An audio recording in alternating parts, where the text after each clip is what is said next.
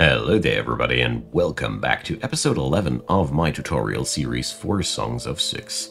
So today is a big leap for us as we will now truly evolve to the, in today's episode away from a village and towards a city. So I did take the liberty of fast forwarding a little bit here so we have finished the warehouse there which will be utilized for food purposes. And I want to focus today into the things that will get us ahead and how to get yourself towards the next check marks. Because if you go over here at the uh, rank of the quarry, we gain the ability to build administrations and embassies. That is the point where we can start playing the big map. Currently we cannot do that yet, without administration, you cannot really interact with your environment. So administration is therefore one huge milestone for each and every city and will change the world, so to say. The problem about it is, though, that you need a couple of unlocking technologies, and it is a very, very personnel-heavy whole thing. So to give you an idea about it, so to do administration, we need administration points. To create administration points, we need to build administration buildings, and these must be supplied with paper. Without paper, that will not work. So we need to build up an entire industry for paper, and then we need to shave off people that will go working at the administration, and we will need to pay quite a substantial amount of research points until we get there. So, yeah, it is all in all a pretty heavy uh, step forward, and this is going to be where, where we're going to head towards to next.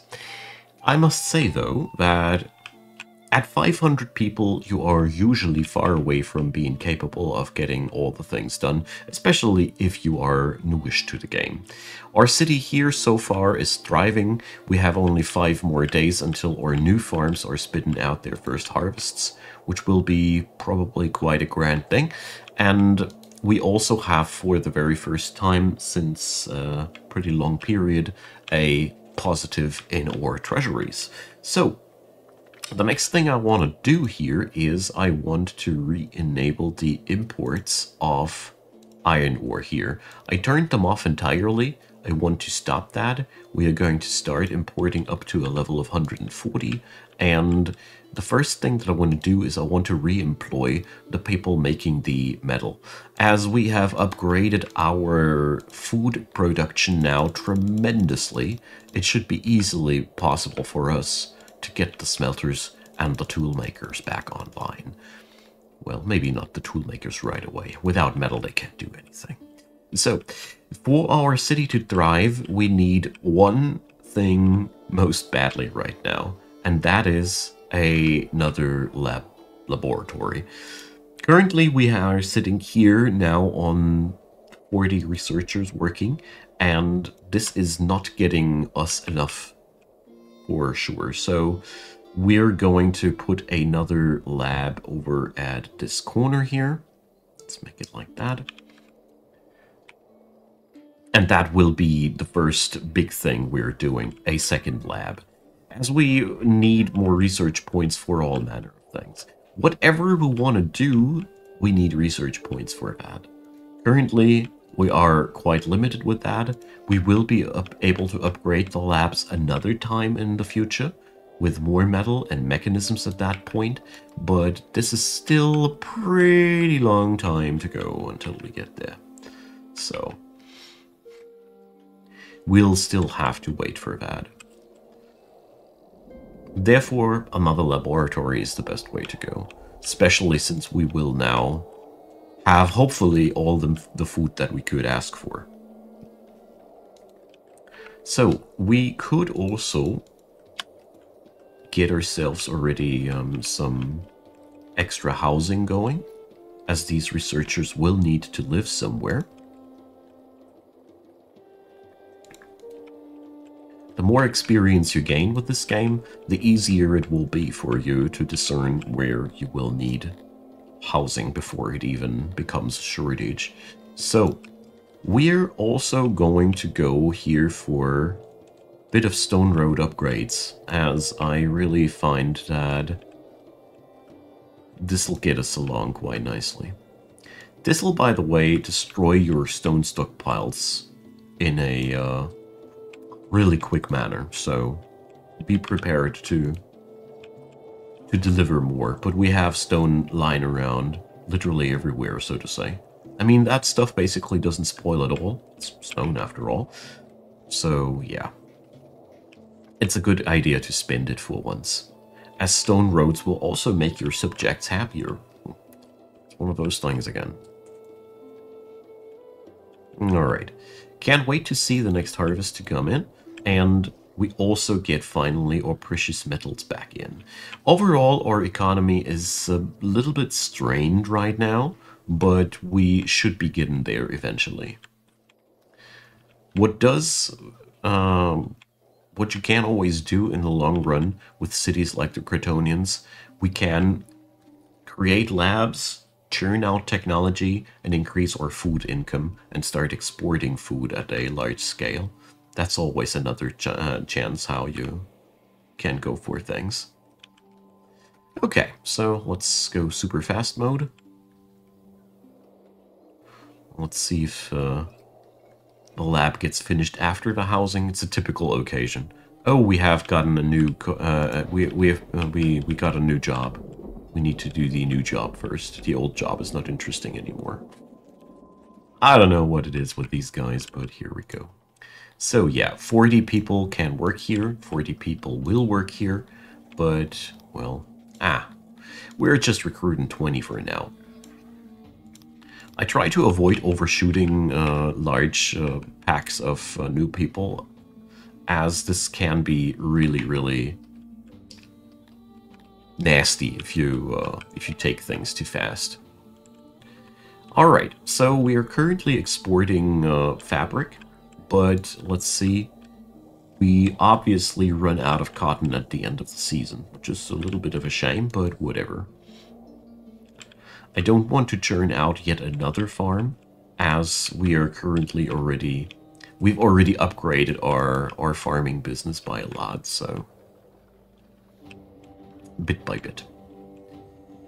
Alright, so let's put those people in there. 20 extra researchers.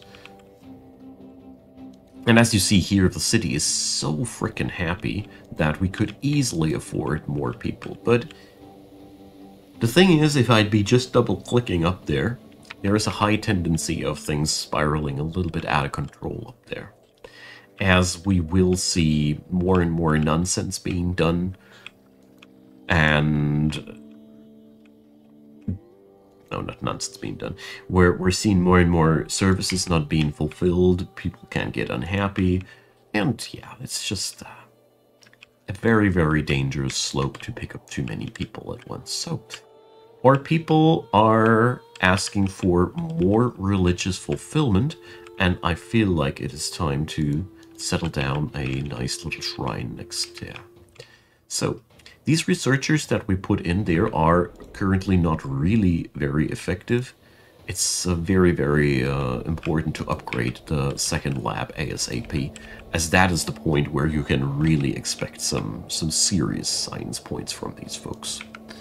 Okay, so now we could research paper making if we'd really wanted to, but I personally would recommend you to go for a couple of other things that are really, really cheap to have now.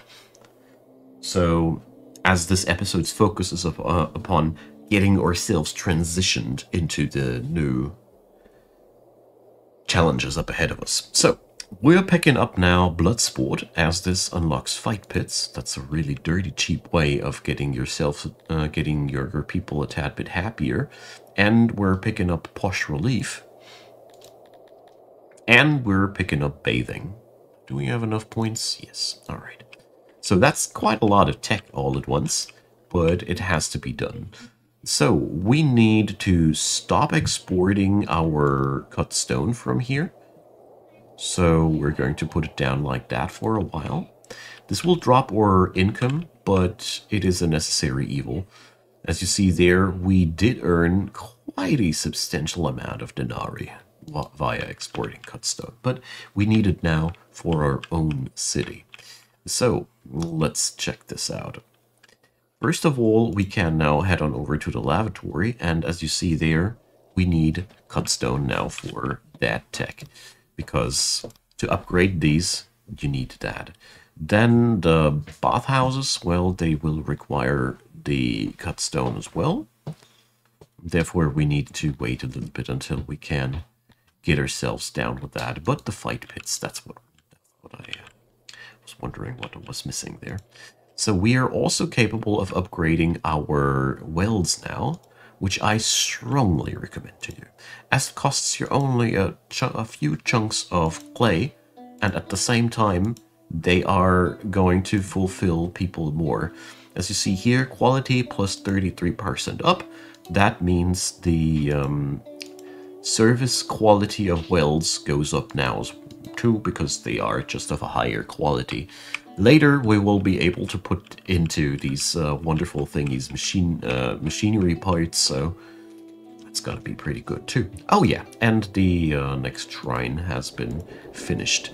So shrines can also be upgraded, so we're going to check on that as well. This will cost a pretty heavy amount of furniture, but these are the investments that are really getting yourself uh, pretty ahead. Oh, yeah, okay, this is uh, 500 tech points. It's a new one to me, so I had to look it up. But let's uh, let's go for the fight pits first. So fight pits come in various sizes, as you see there and they offer various amounts of services. As our city is already a little bit larger, I need to check back if our people actually like fight pits or if Cretonians are too pacifistic for that. They like it.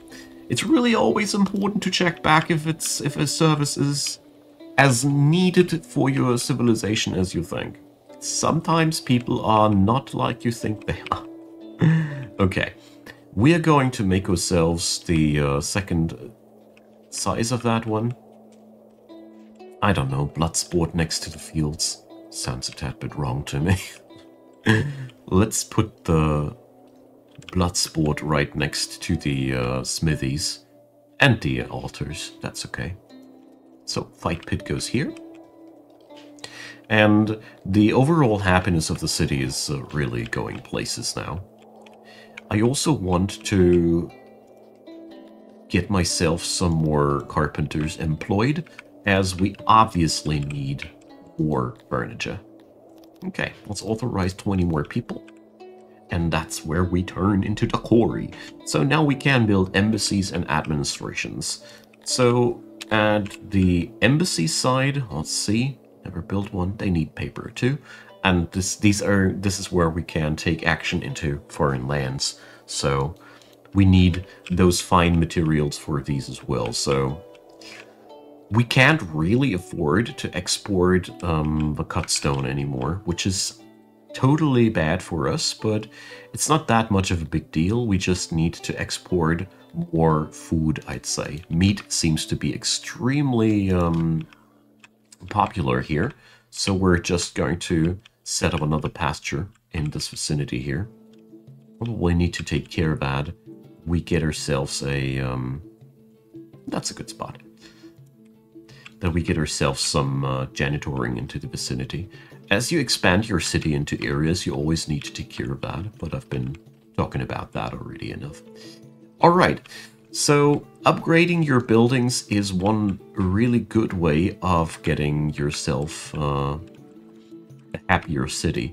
And the larger your city grows, the more important it is to have a happy city, as you will really run into a dead end if you don't expand your your city heavily enough into these uh, businesses. So, speaking about businesses, I'm going to go for more smelters and more smithies yet again. Authorize more people, as we are going to export more and more meat now. Like I said before, it is not the ideal occupation for the Cretonians. We would be probably better off with exporting fruit and veg, but at this point of the game I don't dare to. we need it for, for ourselves. So, Fancy Hearth is also a really cheap technology that doesn't cost us much in terms of uh, science employment. And now we are also capable of upgrading our hearths bit by bit. As we have a couple of these in our city by now, this really does pay off. But again, at the same time, currently we, we don't really have that metal to spend. So let's see, we're currently consuming 10 pieces of metal a day, and we're producing 20 pieces of metal a day. So yeah, that works out just as we wanted to. Okay, so let's move on over to another prestigious object, the bathhouse.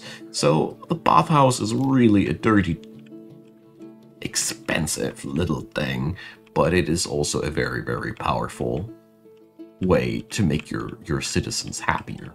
So we're going to set up a bathhouse right next to the fight pit. Oh, the fight pit, dang. The fight pit, by the way, does manage itself quite easily, so you you didn't miss out too much. I want to go over it real quick, though.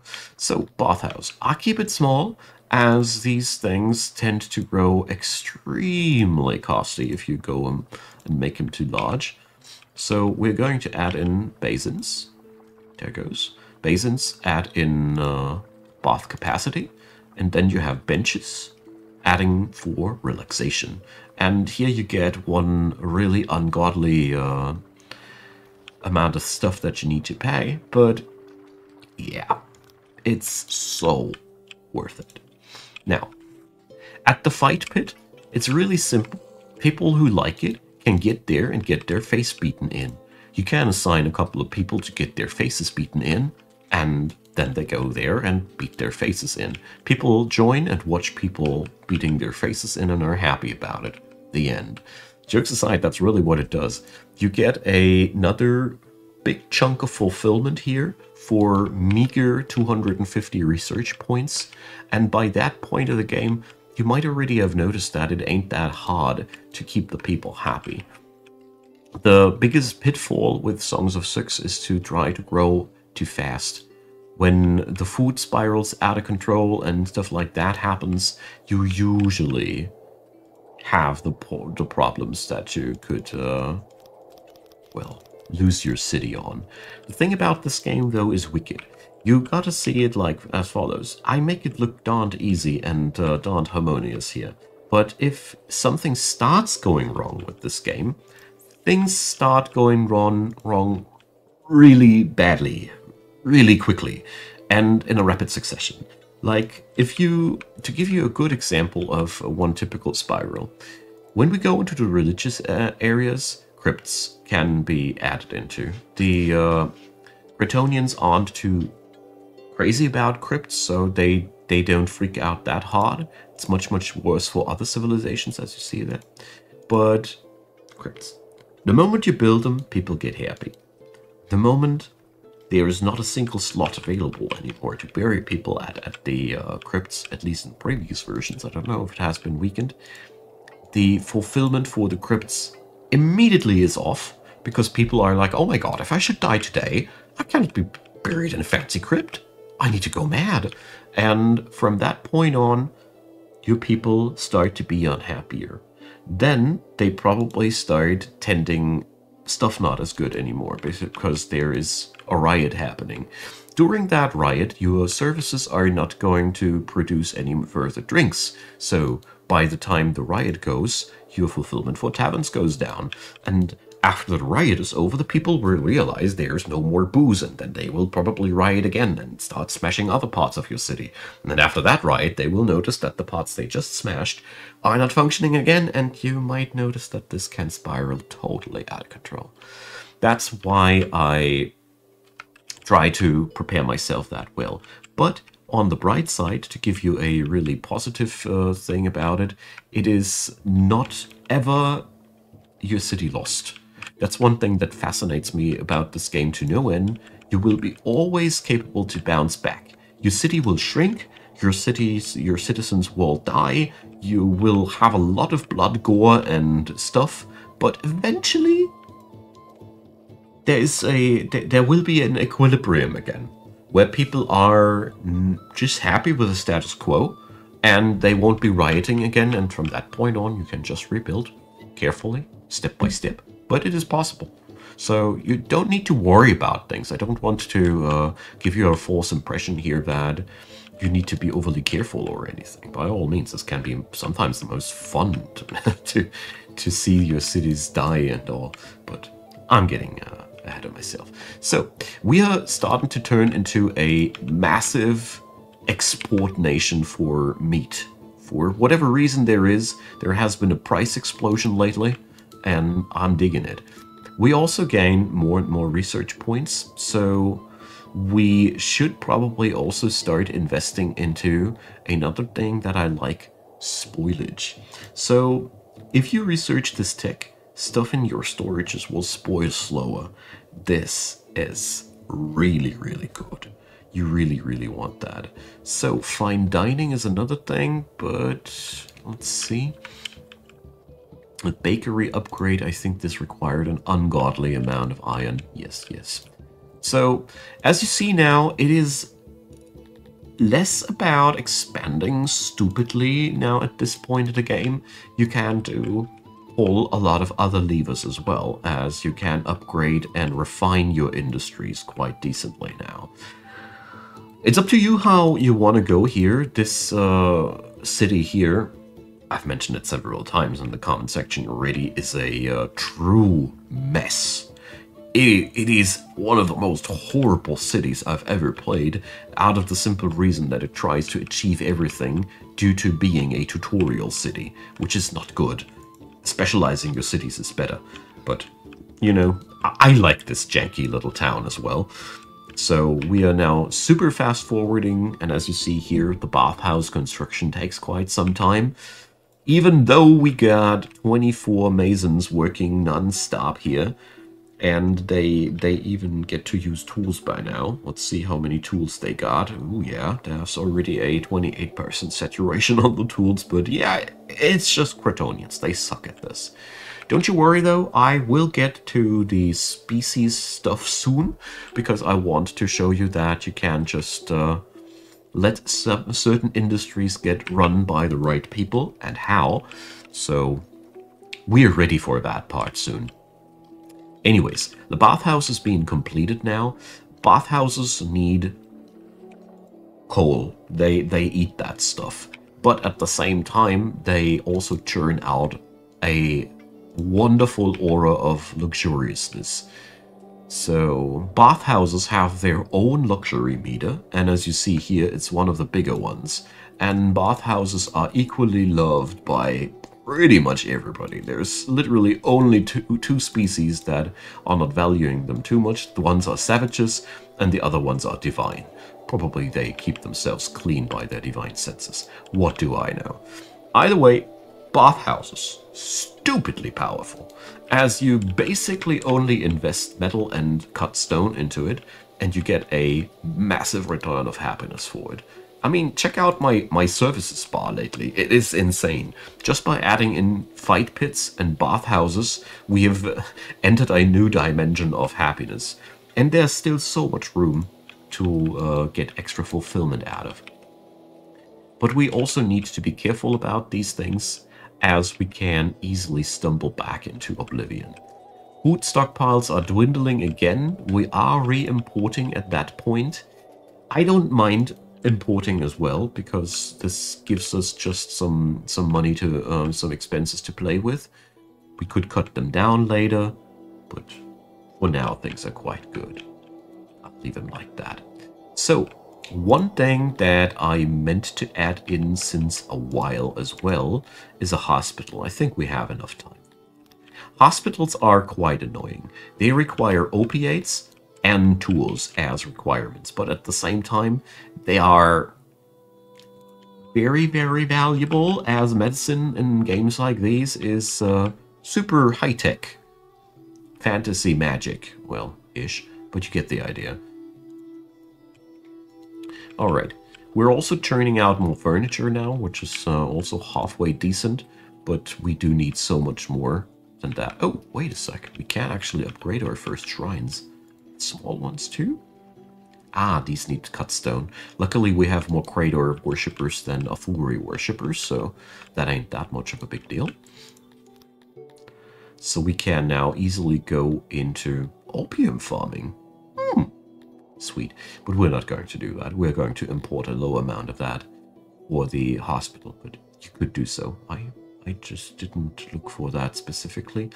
I looked for this one. So this is quite costly and ah well, we're going to delay the restaurants for another episode. So worshipping with style, but it is also just quite a powerful thing as we again have here a religious fulfillment which isn't topped off. And if we upgrade it, quality of these goes up. They also look fancier and people are again happier with it. We also have now finally something our uh, carpenters can totally strive towards to. It ain't that much of a good income or anything like that, but, well, some things just work out slower than others when you're playing certain civilizations. You just should not worry about that too much. Okay. With all those little improvements, you, you see here, we could authorize 100 people at once. Of course, we won't be doing that because I personally always recommend you to sit back and analyze what is the next uh, weak spot of your economy, what is the next uh, pitfall that might be problematic for you. So, yeah, it's always a good idea to just uh, take it slow. All right, opiates, and then the uh, hospital.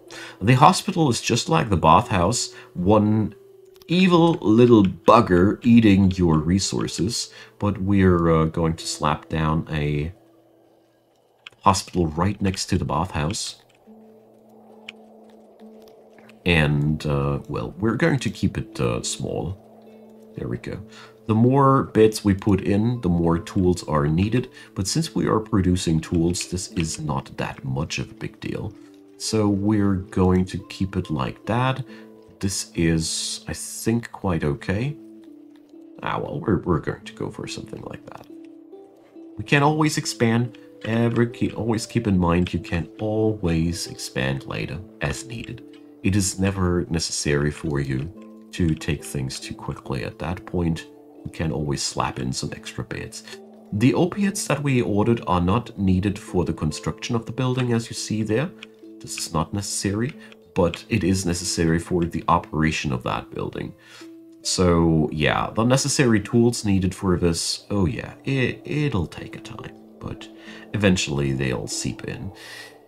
There is not much to explain about the hospitals as these work like any other service building, with the only difference that they are eating fabric and opiate to churn out their service, but that is pretty much all that is different about these. It's really important though that at some point you go for hospitals as sanitation matters the larger your city grows. But as you see here, we are struggling with delivering tools there. But I don't mind at all because it is, uh, to me, a slow and steady progress uh, process of progress to uh, get this done. In the meantime, I would recommend you to just upgrade your hearths into fancier pieces. And the more you do these things, the more capacities you'll have for disaster. That's always the way I like to see this. And with the current state of affairs, the city is totally stable. We can totally do our thing for the next couple of years, and we will outro at this point as I want to go for the whole paper making administration shenanigans in the next episode more um, more precisely and more as a main topic because this is just something that we need to work on. Okay, so thanks for watching you all. We have now our first hospital. Obviously, we don't have any opiates delivered yet, but that's okay. We'll be getting there. The consumption of the uh, opiates isn't that horrible. So as you see there, even a small amount of these will suffice. It'll take a while until you have your yourself geared out with those, but you're gonna get there. Alright, leave me your comments down below. A thumbs up would be wildly appreciated. Consider subscribing. And as usual, check out the description box. There's lots of cool links in there, leading also to the playlist of this tutorial series, so you might want to check that out if you are new to the series. Also, check out Patreon, Paypal, or Buy Me a Coffee if you'd like to support the channel. These are the preferred methods, and I'd be really, really happy if you'd give them a look. Thanks for watching this video. This is really, really the best thing you can do to support me as well. And I appreciate you hanging out even after the ad roll.